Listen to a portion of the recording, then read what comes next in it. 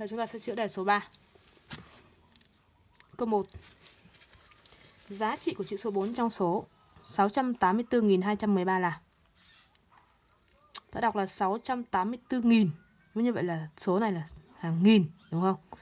Hàng nghìn và đây chữ số 4 là hàng nghìn vậy nó sẽ là 4.000 và còn cách khác nữa là như nào? À ta viết số 4 đúng không? Và ba chữ số sau ta viết thành thành không vậy là sẽ, sẽ, sẽ, số 4 này nó sẽ là thuộc là 4.000 đúng không?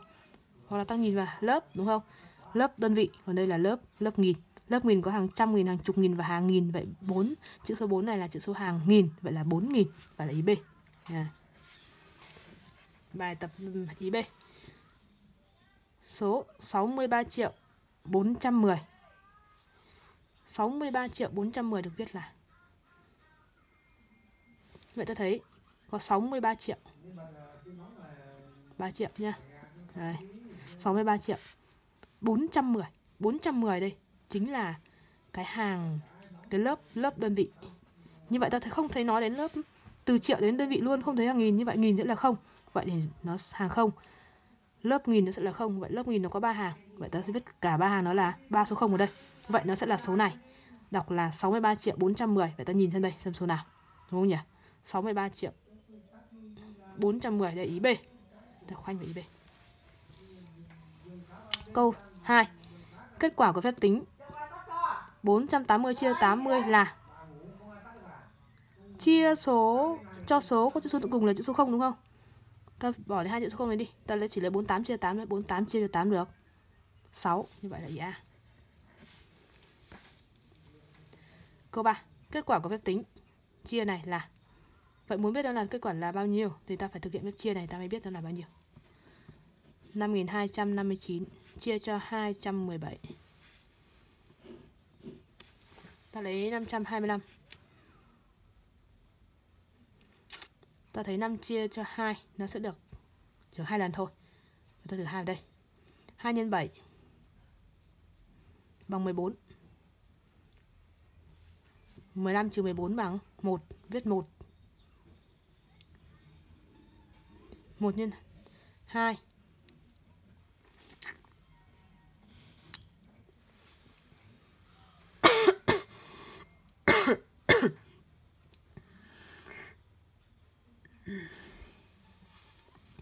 Viết 1 nhớ 1 này 1 nhân 2 bằng 2 Thêm 1 là 3 12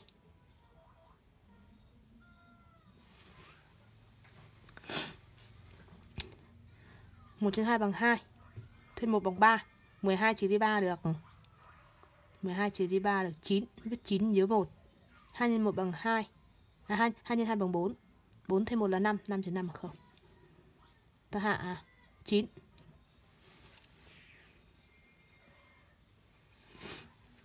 Được 4 4 x 7 bằng 28 29 trừ đi 28 Được 1 vết 1 nhớ 2 1 x 4 bằng 4. Thêm 2 là 6, 11 trừ 6 bằng 5, vết 5 nhớ 1. 2 nhân 4 là 4 nhân 2 bằng 8, thêm 1 bằng 9. 9 trừ 9 bằng 0. Vậy ta thấy bằng 24 và dư 51, vậy là ý A. Câu thứ 4. Kết quả của phép nhân này, 47 x 11 bằng bao nhiêu? Ta đã thực hiện phép chia à, học có học bài học là gì nhỉ? Nhân số có hai chữ số với 11 đúng không? Nhân nhẩm số có hai chữ số với 11 thì ta có là ta giữ nguyên cái chữ số hàng hàng đơn vị sẽ bằng 7 đúng không? Và ta cộng vào 4 cộng 7 4 cộng 7 sẽ bằng chữ số 4 này đúng không hai chữ số đầu và cuối ta giữ nguyên ta lấy 4 cộng 7 sẽ bằng 11 bởi 11 ta, ta viết 1 và ta nhớ một sang hàng này nữa là 5 đã là 517 gọi là ý B đó. Câu 5.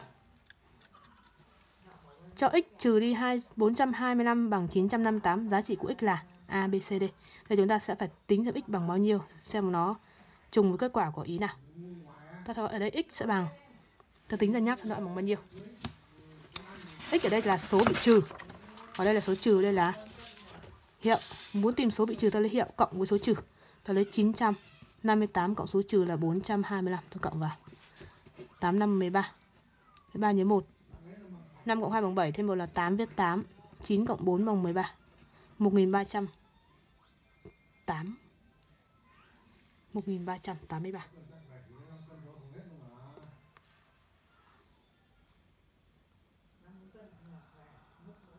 125 chỗ này đề sai rồi.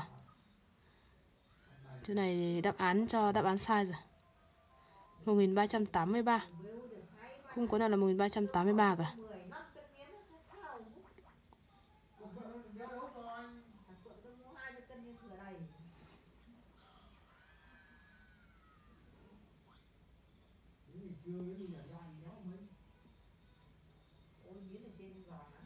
Ý này chúng ta thực hiện cộng vào nếu ví dụ như có cái bài nào mà có một cái phép tính như thế này, thì chúng ta sẽ, câu là sai sai đáp án. Chúng ta sẽ thực hiện tính x như bình thường, sau đó ta so sánh kết quả ở đây. Đây là, nó có sai sót trong cái lúc làm đề, cho nên là nó sẽ, nó sai chỗ này. Còn bình thường chúng ta cứ thực hiện như vậy thôi, tính x bình thường, sau đó chúng ta so sánh kết quả bên này. Rồi ý b.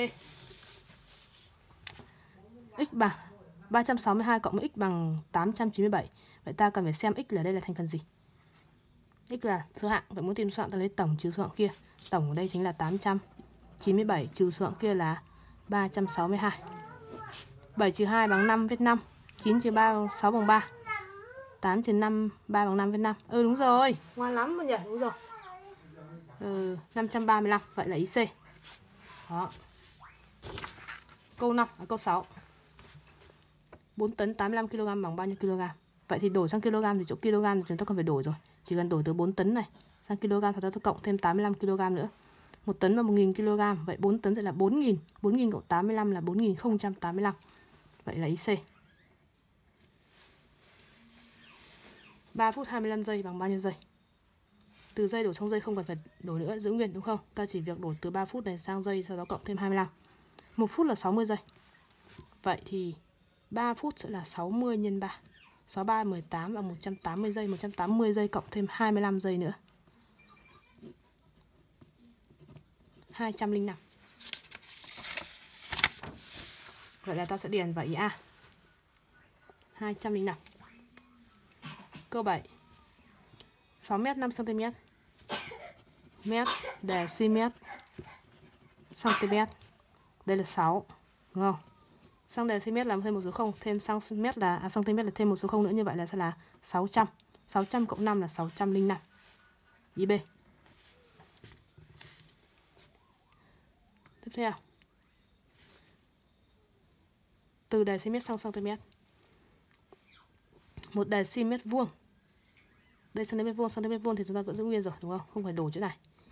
Ta chỉ đổi 45 đề cm vuông này sang cm vuông. Một đề cm bằng một bằng 10 cm nhưng một đề cm vuông thì bằng 100 cm vuông, mà 45 đề cm vuông đổi sang cm vuông sẽ bằng 45 nhân 100 sẽ bằng 4.500 4.500 cm vuông 4.500 cộng với lại 5 4.500 cộng thêm 5 sẽ là 4505 sẽ là IC khoanh với IC câu 8 chu vi của hình chữ nhật ABCD có chiều dài từng này chiều rộng chiều dài là 4 cm chiều rộng là 3 cm sẽ là a, b, c, d chúng ta chọn đây, vậy ta phải nhân muốn tính chu vi của hình chữ nhật, ta lấy chiều dài cộng chiều rộng nhân 2 chiều dài là 4 cộng chiều rộng là 3 nhân với 2 4 cộng 3 bằng 7 7 nhân 2 bằng 14 cm như vậy, nó sẽ là ý B. Câu 9. Tuổi của bố và tuổi của con cộng lại là 57 tuổi. Con kém bố 33 tuổi, hỏi bố bao nhiêu tuổi, con bao nhiêu tuổi. Đây chính là bài toán về tìm hai số khối tổng và hiệu. Hai số đó là tuổi bố và tuổi con. Tổng của hai số đó là 57 và hiệu của hai bố là 33. Hiệu của hai số là 33. Mà tuổi bố chính là số lớn và tuổi con là số nhỏ Bởi vì con lúc nào cũng ít tuổi hơn bố đúng không Ta tìm tuổi của con trước đi Hay tuổi của bố trước được tuổi của bố là tuổi của bố là số lớn đúng không? Tương ứng với số lớn ta lấy tổng cộng hiệu nhân là chia cho 2. Tổng là 57 cộng hiệu là 33. Rồi, chia cho 2. 57 cộng 33 bằng 90, 90 chia 2 bằng 45. Tuổi của con.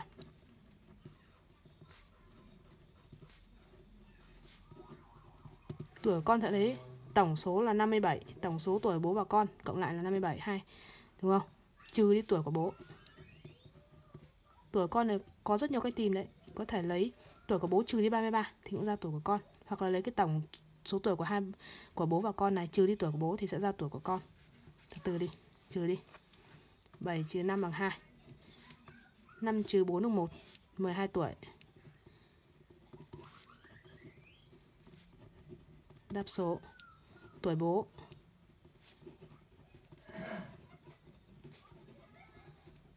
Bốn mươi lăm tuổi. Tuổi con. Mười hai tuổi.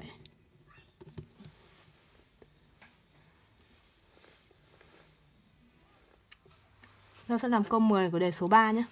Câu 10 đề số 3 có 3 ô tô chuyển thực phẩm vào thành phố, trong đó 6 ô tô đầu mỗi ô tô chuyển được 30 tạ và 4 ô tô sau mỗi ô tô chuyển được 35 tạ. Hỏi trung bình mỗi ô tô chuyển được bao nhiêu tạ thực phẩm? Muốn biết trung bình mỗi ô tô chở được bao nhiêu tạ thì ta phải biết 10 ô tô chở được bao nhiêu tạ đã. Để biết được mỗi ô tô chở được bao trung bình mỗi ô tô chở được bao nhiêu thì ta phải biết là 10 ô tô chở được bao nhiêu đã đúng không? Vậy ta phải tìm xem 6 ô tô này chở được bao nhiêu và bốn ô tô sau chở được bao nhiêu? Ta cộng lại với nhau để được 10 ô tô, đúng không? Sau đó ta sẽ chia cho. Trung bình mỗi ô tô ta sẽ có bao nhiêu ô tô ta sẽ chia cho từng đấy ô tô. Ta sẽ chia cho 10 có bài giải ta tìm xem 6 ô tô đầu chở được bao nhiêu đã.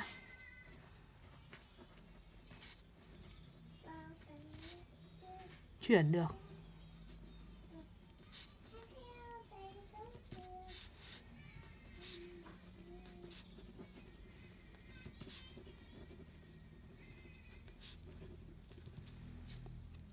6 ô tô đầu mỗi ô tô chuyển được 30 tạ Như vậy ta lấy 30 Nhân 6 3 nhân 6 bằng 18 180 tạ. Tiếp theo 4 ô tô. Sau. Chuyển được số.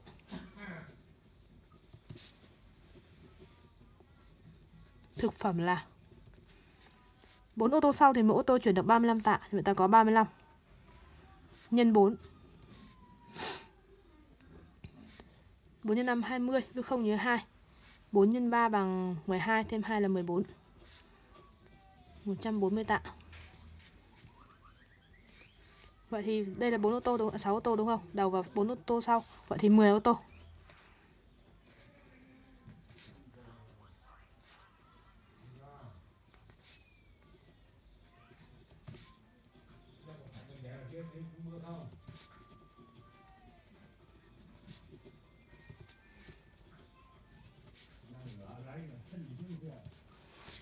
Vâng, cộng vào. 0 cộng 0 bằng 0 4 cộng à, 8 cộng 4 12 với 2 nhớ 1 1 cộng 1 bằng 2 thêm 1 bằng 3 320 tạ.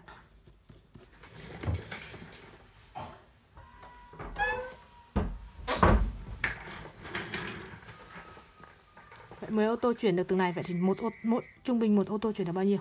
Ta sẽ trả lời câu hỏi của bài. Trung bình.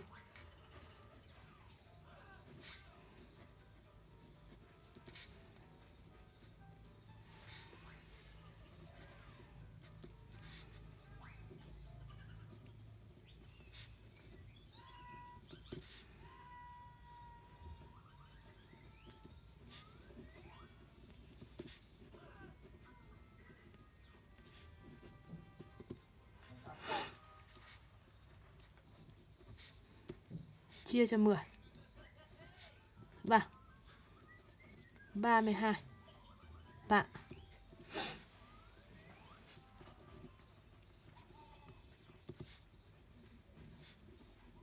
Đây chính là bài tìm trung bình cộng của số. Đây chính là trung bình cộng của 10 xe. Đấy, Đúng không? Trung bình cộng của 10 xe đấy. Lấy tổng của 10 xe chia cho 10 thì nó sẽ ra trung bình một xe. Đây chính là bài tìm, tương ứng với cái bài tìm trung bình cộng đấy.